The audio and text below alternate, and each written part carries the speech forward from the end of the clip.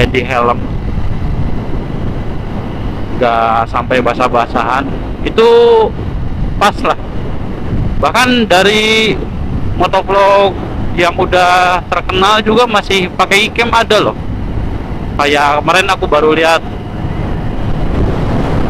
Bloriski Bloriski dia kamera sekundernya pakai ikem. Jadi yang di helm GoPro terus yang di depan pakai ikem cuman ya jangan terlalu berharap kalau pas dipakai malam hari. Banyak noise. Dia kan otomatis ya otomatis nyesuaiin cahayanya biar nggak gelap. Kalau di kamera mungkin mode auto. Nah kalau si cam ini dipakai di malam hari itu kurang banget pasti banyak noise lah apalagi penerangannya kurang. Yang penting kalau ngevlog pas keadaan cerah siang atau pagi hari itu bakalan bagus banget video iCam-nya jadi kadang aku juga kalau misalkan ngevlog pas posisi cahayanya kurang walaupun lensanya bersih tuh bakalan jelek. Hasilnya jelek. Cuman nggak patah-patah sih soalnya udah 1080p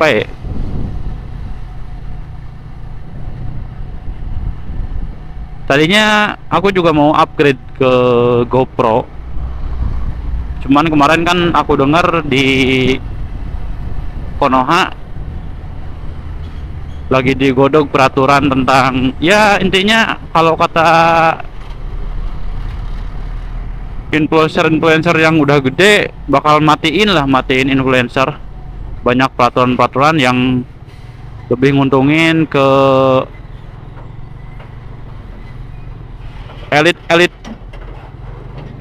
politik ya elit-elit global yang ada di Konoha anjir. Bahasannya berat cuy. Nah jadi jadi pertimbangan juga mau beli GoPro takutnya YouTube di banned kan ngapain? Nggak ada buat sharing-sharingnya bikin video. Mana anjir mana anjir? Nggak pakai rembusan terus yang baru-baru ini kan TikTok juga mau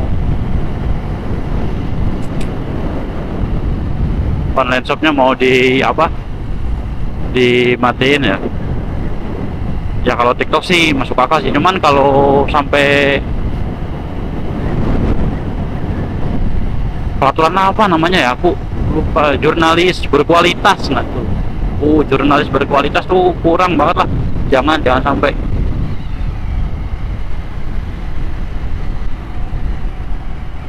Masih hidup dan akhirnya kemarin ada duit segitu aku lebih ke upgrade kamera buat konten hari minggu. Karena itu ya emang perlu sih. Kemarin bisa sebenarnya pakai Canon 60D cuman hasilnya kurang banget sih autofokusnya kurang terus kalau misalkan sekali-kali mau bikin konten dipakai videonya wah ribet banget. Gede doang uh,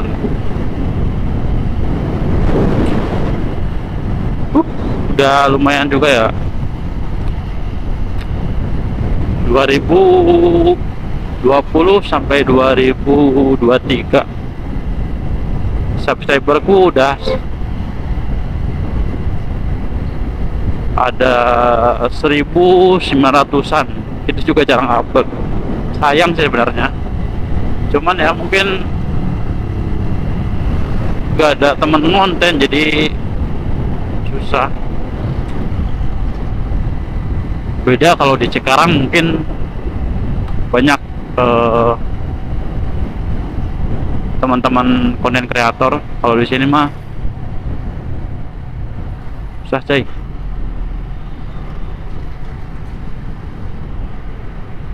susah susah susah. Belum nemu lah. Jadi ya mau bikin konten juga agak males. Apalagi bikin konten. Bikin konten apa namanya?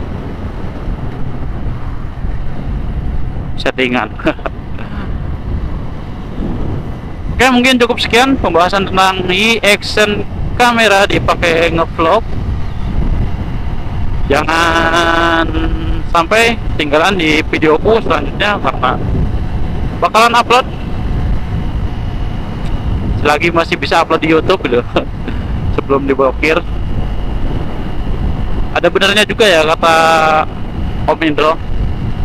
Kayak kata warkop tertawalah sebelum tertawa itu dilarang. Kalau di Konoha mungkin bisa jadi tertawa bakal dilarang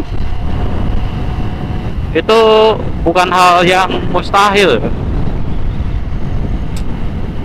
Dikit-dikit bikin aturan dikit-dikit bikin aturan. Kayak yang di Rempang sekarang yang di Batam itu kasihan banget. Tanah udah lama ditinggalin maksudnya udah lama ditempatin. Tiba-tiba ada orang asing yang punya orang dalam di Konoha datang. Ini tanahku. Pergi. Anjir apa? Nggak enak ya. Kah? belum cocok kayaknya buat bikin video reaction. Nggak pede. Uh. see you di next video oke? okay?